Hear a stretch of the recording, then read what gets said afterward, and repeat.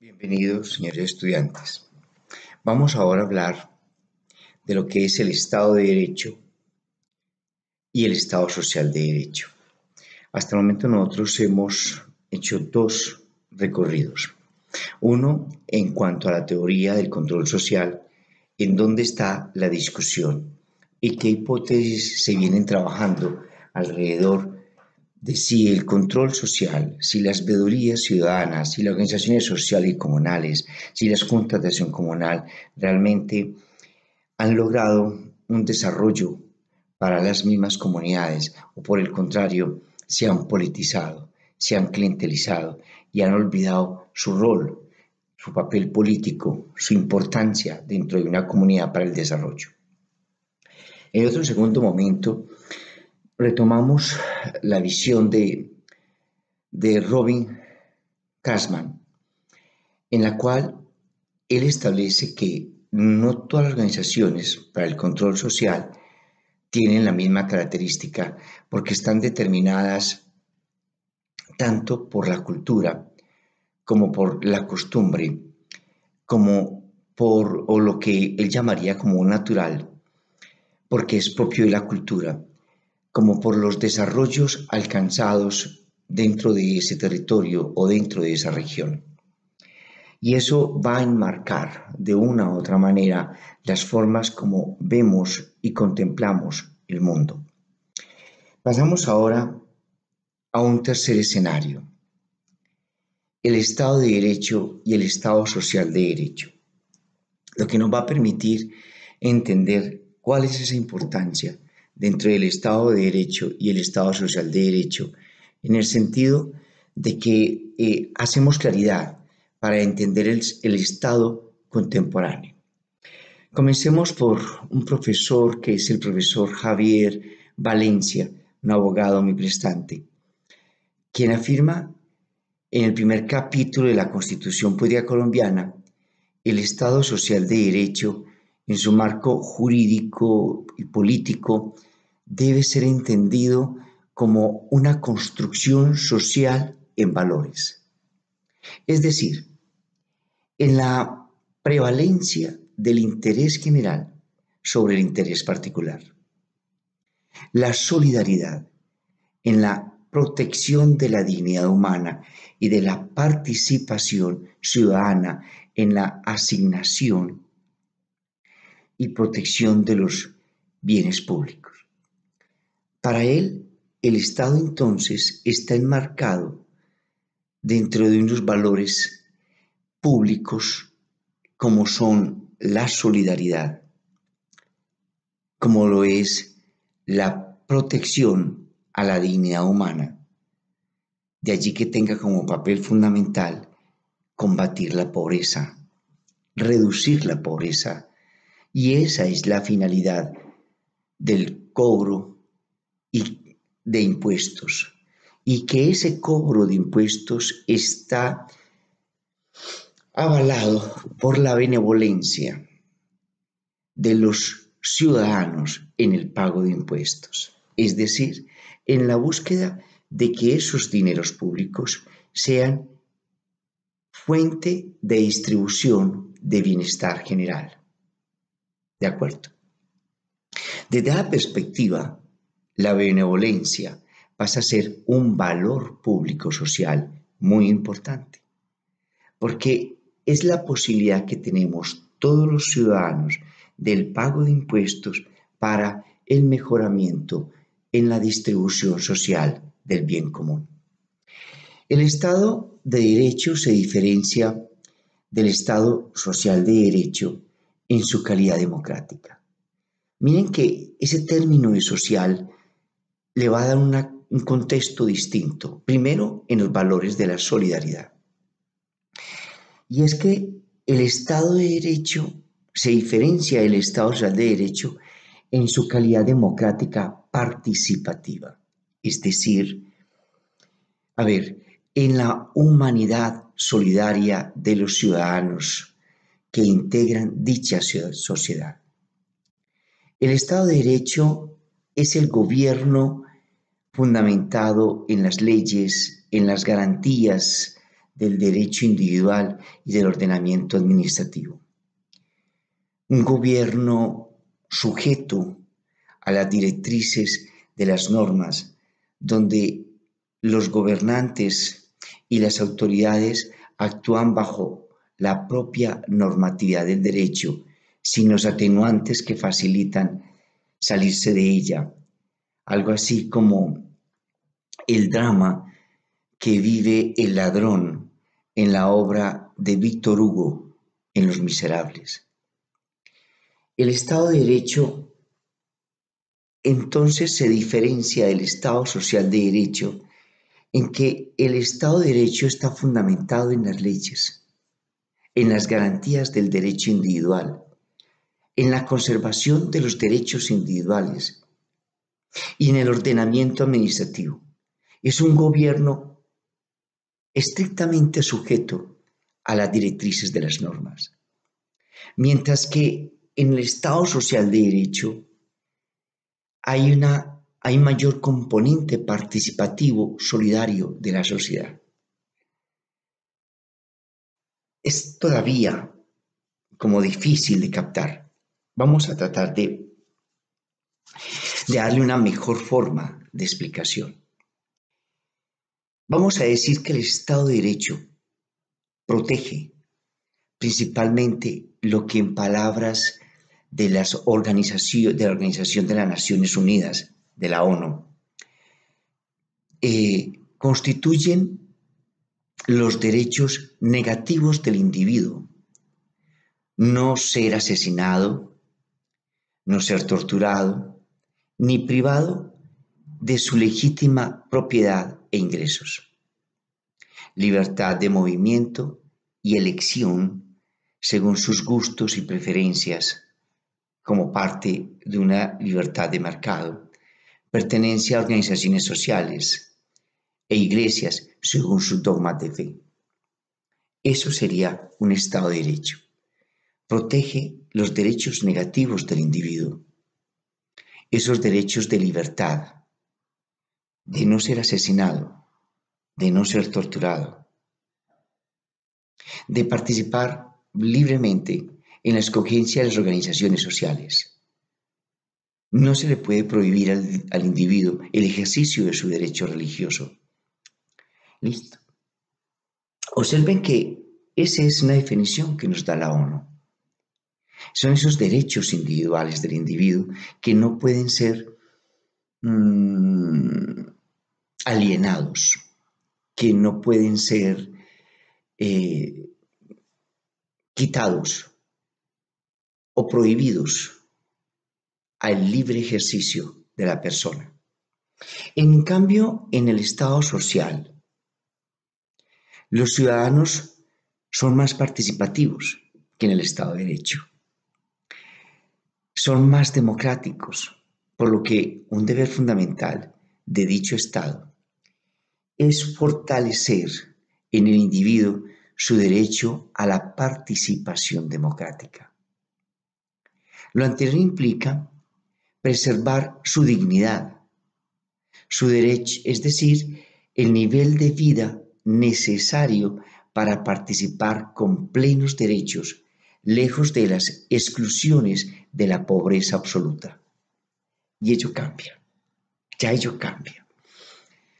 Antes del Acuerdo 01 del 86, en la cual los individuos comenzamos, los, los, los habitantes de Colombia, comenzamos a elegir a nuestros gobernantes y empezamos a votar para nombrar un alcalde, para nombrar un gobernador, para nombrar el Consejo, para nombrar el Congreso, para nombrar los diputados, como en las pasadas elecciones de octubre. Observe que eso es parte de un Estado social de derecho.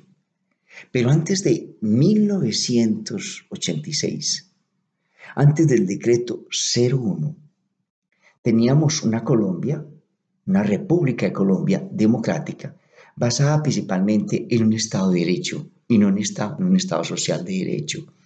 Como Estado de Derecho, eh, nosotros no participábamos en la elección de los alcaldes, ni en la elección de los gobernantes, Ni nosotros, elegíamos al presidente, hasta ahí llegábamos nosotros.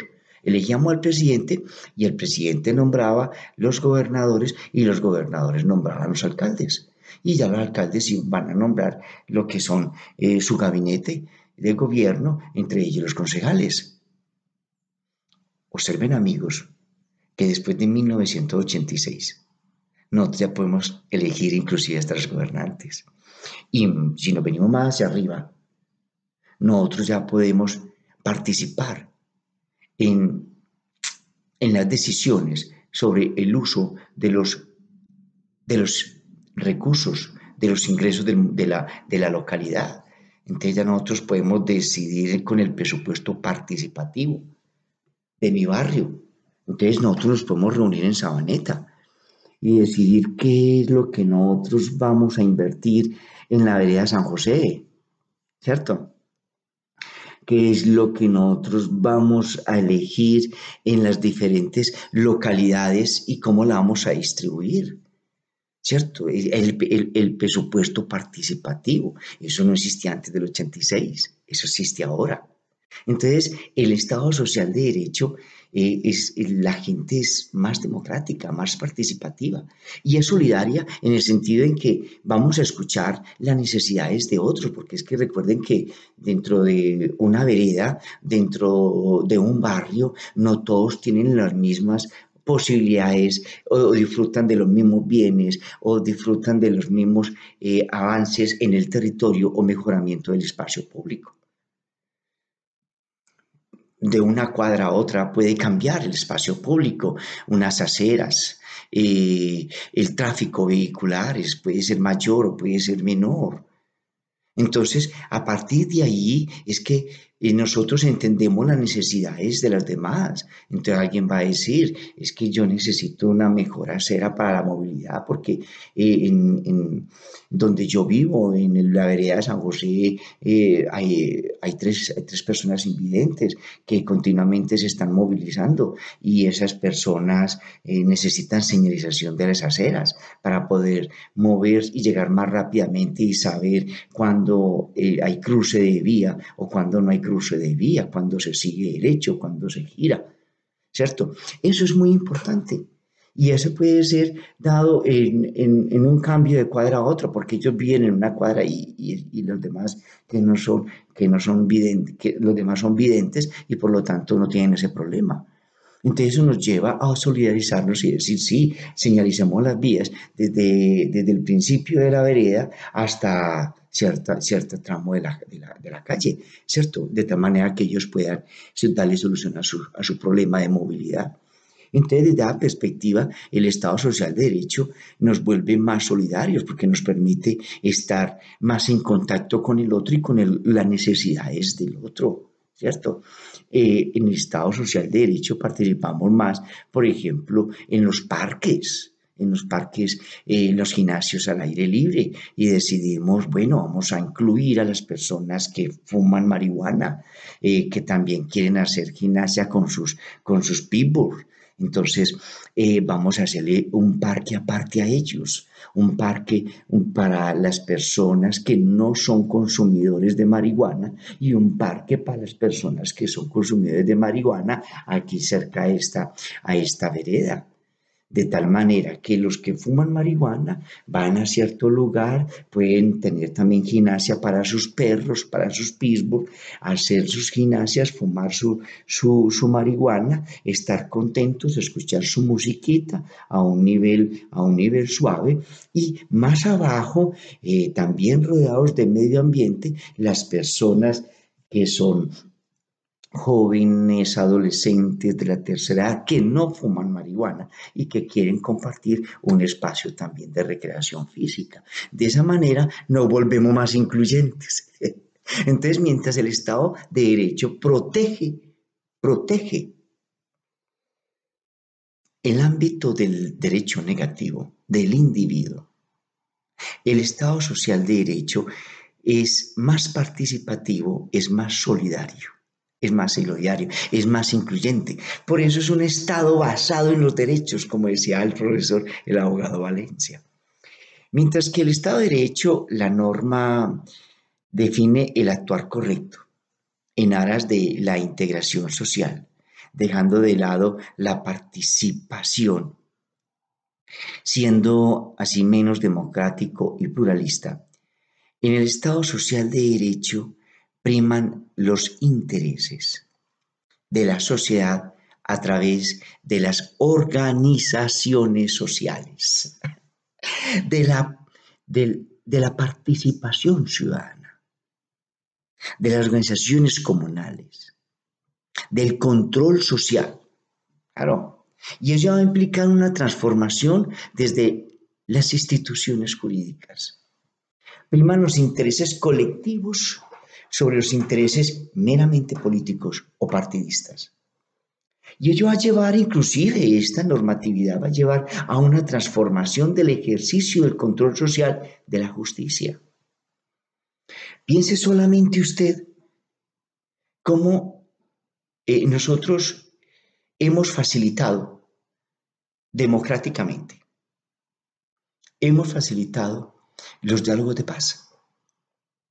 Cómo se ha pensado una nueva forma de, justicia para los actores, o, más bien, para los ex-actores, ex-guerrilleros, para que ellos dejen de delinquir, se dé la justicia del resarcimiento, el perdón y olvido, se vuelvan a integrar a la vida civil y, ellos puedan eh, dar esclarecimiento de la verdad mostrar arrepentimiento y, y, recompensación a las víctimas. ¿Cierto? Dentro de esa, dentro de esa política, eso era impensable antes del nacimiento de la sociedad contemporánea. Era impensable. Se ejercía el derecho, la persona eligió y de acuerdo a la gravedad del delito, la persona era condenada a cierta cantidad de años. Hoy en día no. Hoy en día, dentro de este proceso de la construcción de un Estado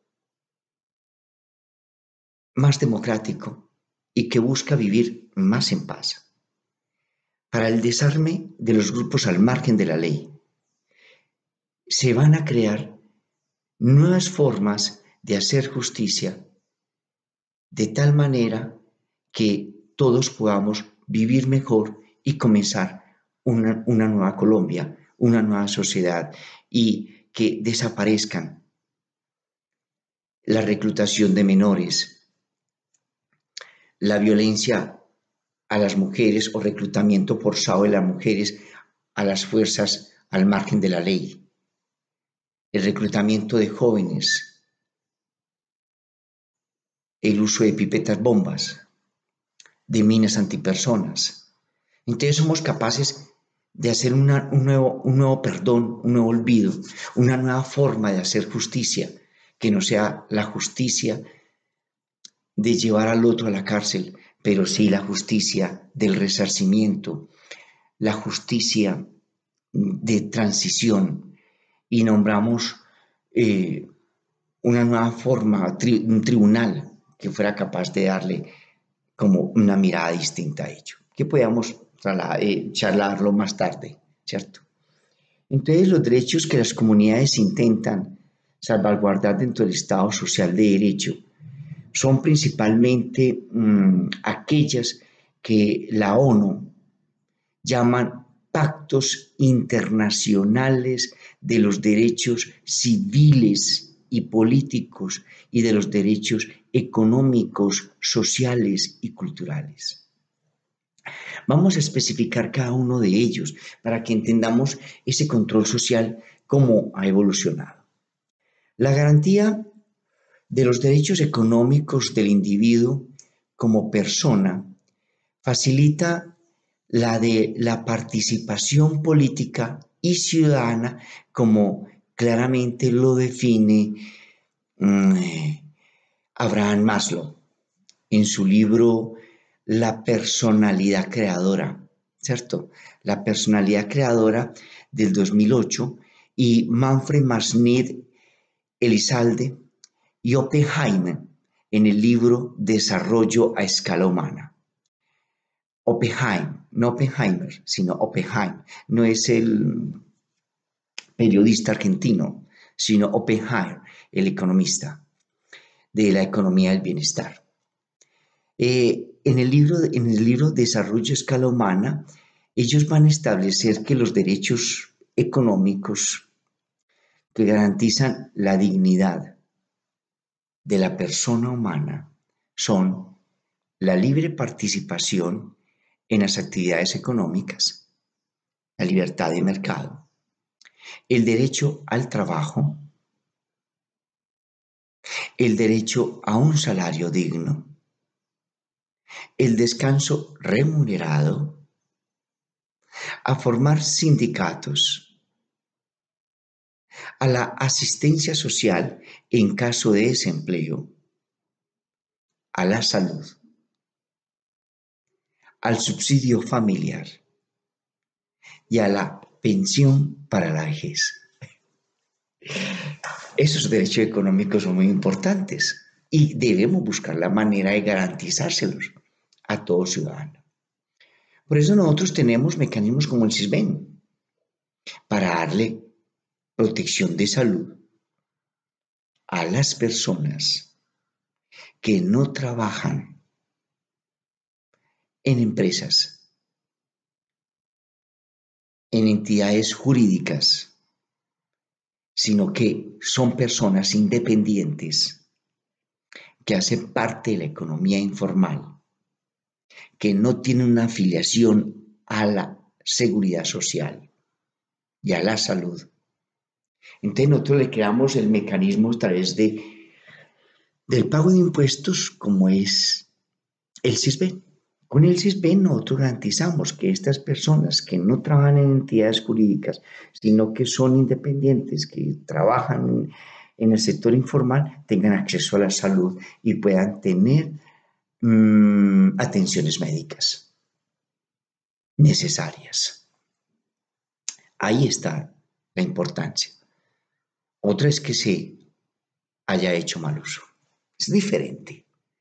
Porque así como existe un Estado social de derecho basado en valores, también el Estado social de derecho basado en valores demanda de una sociedad con valores, con valores públicos.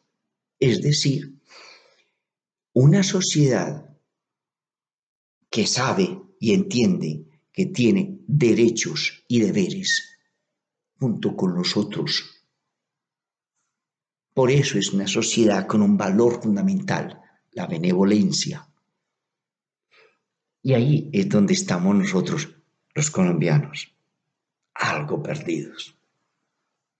De allí que sea deber de la economía política la procura de los recursos financieros, de política fiscal, de finanzas públicas, necesarios, necesitamos recursos financieros necesarios para que a través del presupuesto público puedan ser cubiertos en bien de todos los miembros de la sociedad.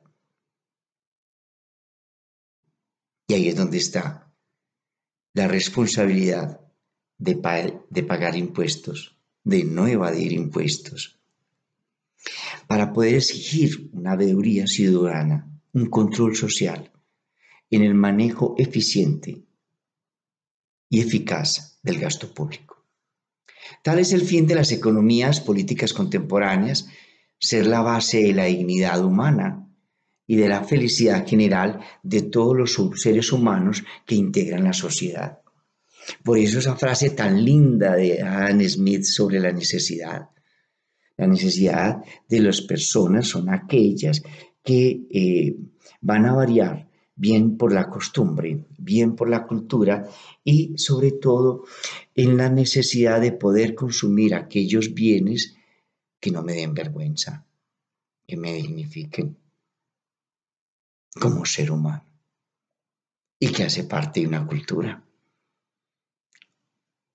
Eso es importante. El Estado social de derecho, además de proteger los bienes relacionados con el derecho negativo, protege también lo que en palabras de la ONU constituyen los derechos positivos del individuo, que son justiciables y democratizables, tales como justicia social distributiva. Esa justicia social distributiva es buscar la equidad, la equidad en la distribución. Personas que todos paguemos impuestos, que todos tengamos derechos y deberes con el pago de los impuestos. Esa justicia social distributiva puede ser de equidad horizontal o de equidad vertical. De equidad horizontal es que personas que ganan lo mismo, que tributen de igual manera. Y de equidad vertical es tomar en cuenta que hay personas que deberían tener un tratamiento especial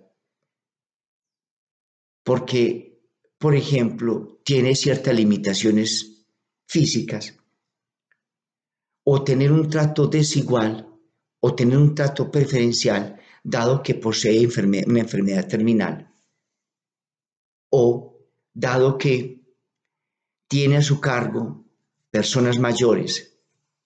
O dado que es una persona que en su infinita benevolencia tiene niños adoptados como hijos o cuida de adultos mayores o posee un hijo con enfermedad terminal o con enfermedades especiales.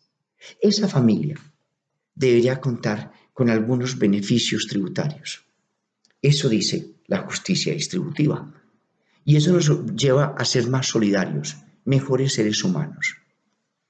Hay parejas que resuelven casarse y no tener hijos propios, sino tener dos o tres hijos o un hijo adoptado.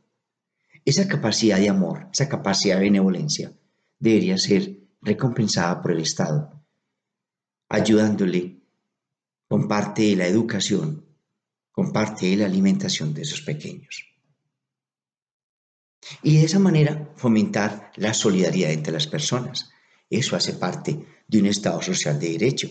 Por eso son derechos negativos, eh, perdón, positivos. Esos derechos de, la justicia distributiva. Eh, a tener un ingreso mínimo justo. De allí que hay que pensar muy bien cuál es el salario que debe tener una persona para vivir con dignidad dignamente.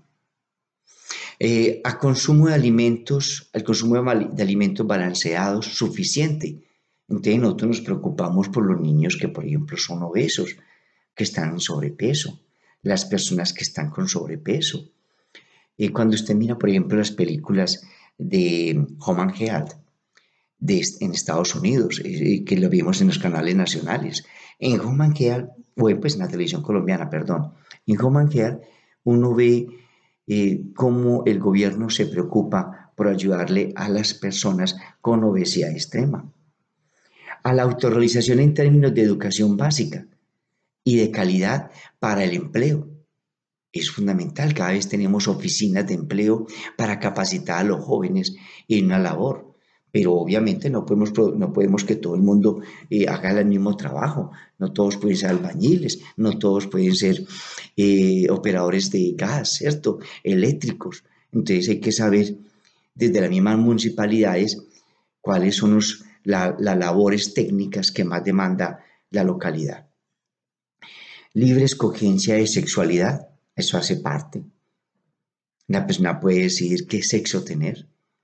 Matrimonio, paternidad y maternidad. Quiero o no quiero ser padre, quiero o no quiero ser madre. Tiempo libre no laboral. pero remunerado, que es el descanso, los días festivos, los días de guarda, ¿cierto?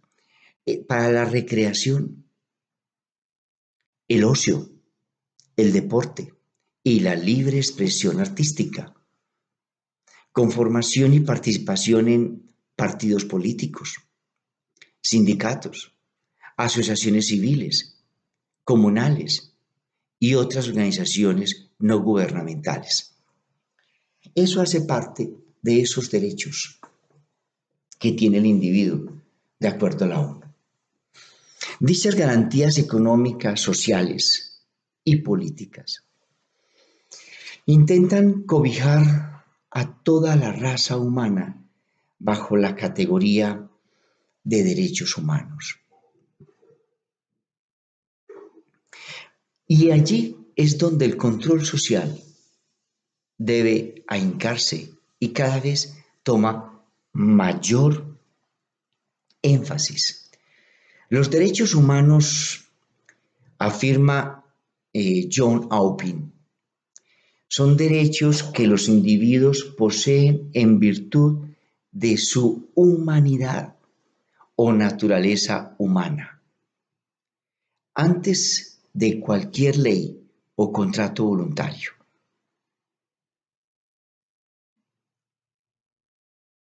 El derecho humano, la dignidad como un derecho humano, la dignidad que no queda atada a la letra pequeña de los contratos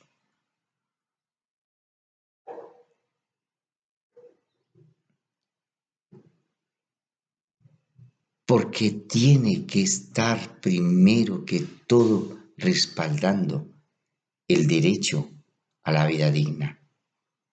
En otras palabras, los derechos humanos no dependen del poder político o de las mayorías, sino de los derechos naturales y la ley moral natural. El derecho natural no es cuestión del pasado. El derecho natural es un derecho de la persona humana por ser humano. Y son derechos naturales de todo hombre, el trabajo y el intercambio. El hombre es negociante, transfiere propiedades,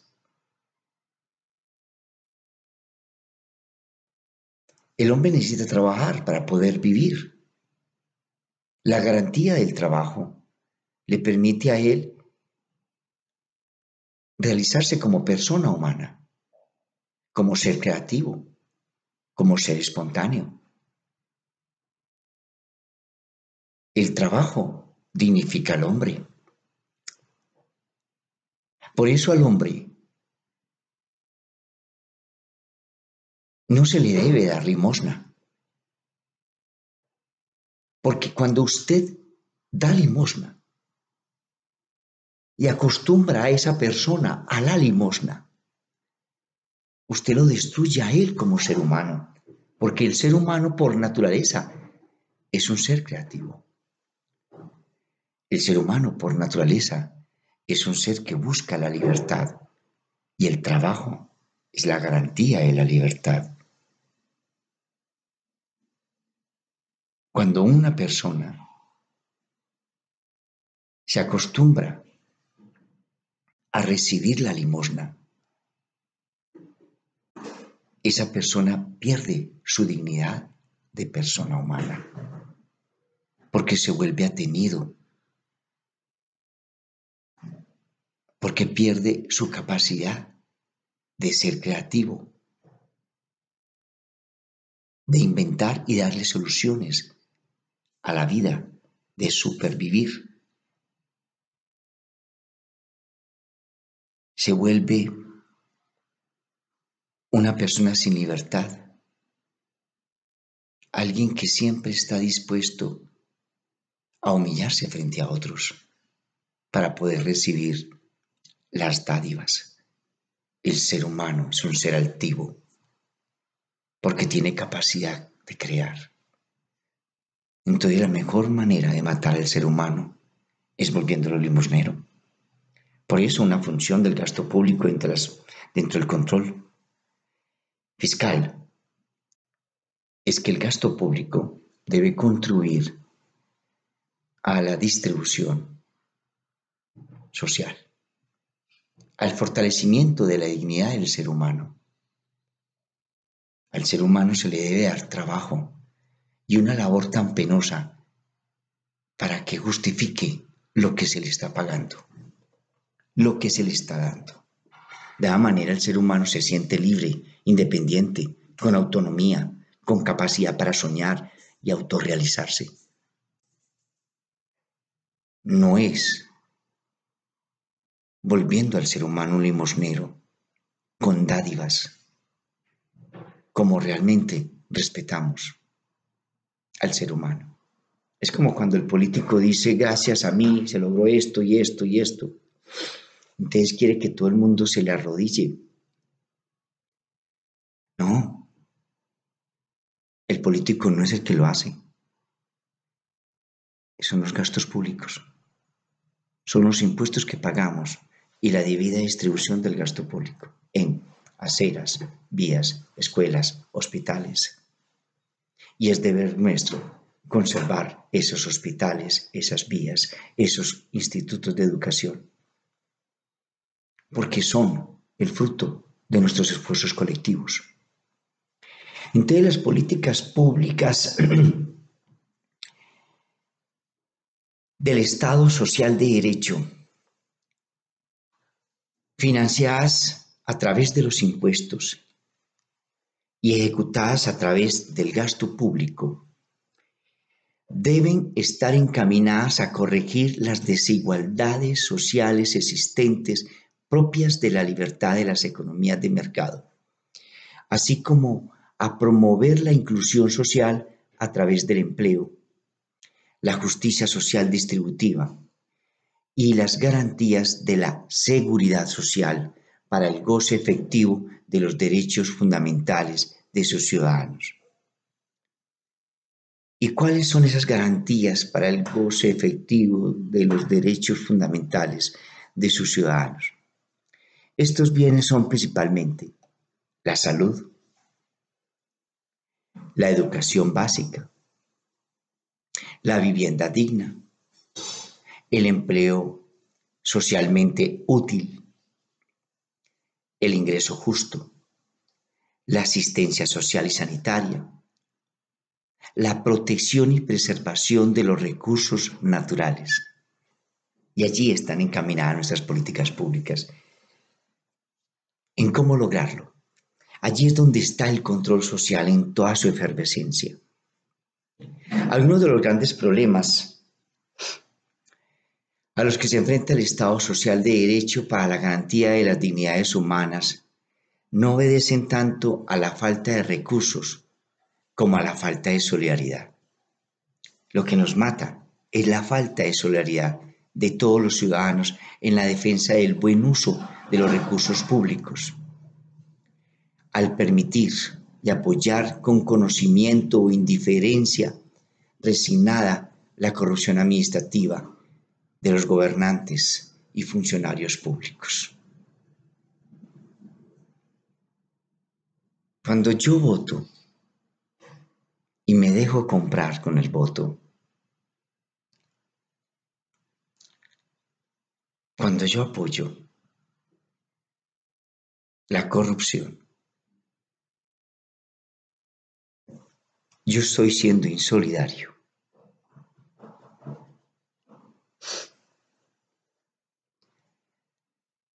Con la sociedad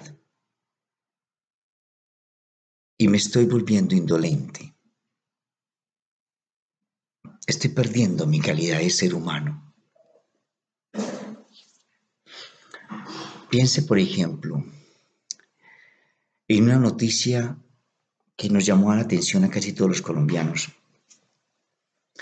sobre el plan alimentario con el PAE, con el plan de alimentación escolar en un municipio colombiano donde tres profesoras,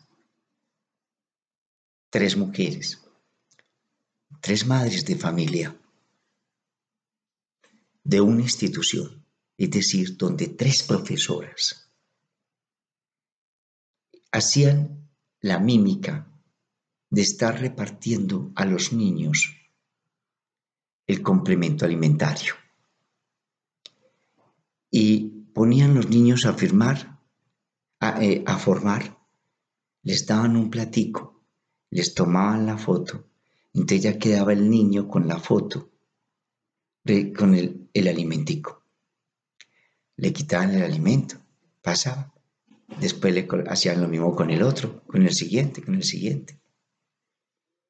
Y de esa manera estaban apoyando al político con el plan de alimentación PAE que se robó el presupuesto. Tres profesoras, que a la vez eran tres madres de familia. ¿Cómo eran capaces de hacer una cosa de esas? Y el pequeño se quedó mirando, no recibió el alimento. Eso es lo que estoy diciendo. Eso es lo que afirmo. De allí la importancia de que las organizaciones de control se basen, sean éticas, se basen en el amor natural al ser humano, a la protección del niño, a la protección del adulto, Algunos de los grandes problemas a los que se enfrenta el Estado Social de Derecho para la garantía de las unidades humanas, vuelvo y repito, no obedecen tanto a la, falta, a la falta de recursos, sino a la falta de solidaridad. Nos falta solidaridad, nos falta humanidad. Ningún control social funciona con individuos que buscan las preferencias personales. ¿Cómo puede un político robase la plata para el sostenimiento de hospitales. ¿Acaso no sabe lo que es estar enfermo? Tener un familiar enfermo. Estar buscando atención médica y los médicos no tener con qué hacer atención médica porque no ha llegado el presupuesto. Mientras que el político que se robó ese dinero anda en su último Volvo o en su último Audi. Y hay quien lo se quita y hay quien lo apoya. El problema no es la falta de recursos. Nosotros pagamos muy buenos impuestos. El problema en Colombia es la corrupción. Y que hay gente que la apoya. Ahí está el problema. El problema es de solidaridad. Eso es lo que nos está fallando en el Estado social de derecho. La participación del gobierno en la economía se ha pensado por dos vías, por la vía legislativa y la vía de la administrativa. Por la vía legislativa, el Estado está encargado de regular la libertad económica sin dirigir procesos económicos en aras de la economía social así como de corregir por la vía jurídica la concentración del ingreso, las igualdades en los ingresos y los altos precios en el mercado. Entonces, cada vez el Estado mm, eh, nos obliga a determinadas personas con ciertos niveles de ingreso a declarar y a pagar para poder hacer mejor distribución. El Estado contrata en asociación público-privada para, para mejorar los costos y lograr la producción de bienes que demanda la comunidad.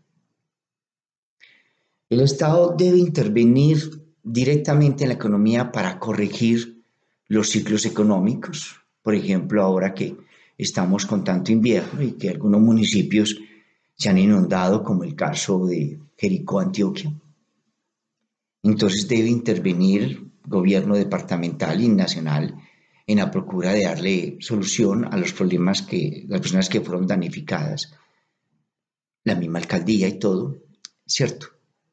eh, intervenir en cuanto al control de los ingresos y evitar la especulación de los precios ahora que estamos para comenzar diciembre. Hacer redistribución de los recursos, incentivar el empleo y la creación de empresas públicas generadoras de economía de escala en salud, servicios públicos, seguridad jurídica y monetaria. Con este esquema de diferencia entre el Estado social de derecho y el Estado de derecho, hemos querido entonces abrir la discusión, abrir, eh, dar más elementos de juicio sobre el control social y el control fiscal. Vamos más adelante a tomar el caso específico en una cuarta de esta parte introductoria de las juntas de acción comunal y organizaciones sociales en Itagüí, Antioquia. Vamos a entonces a dejar acá esta tercera parte y espero que haya sido más clara. Señores, eh, feliz descanso.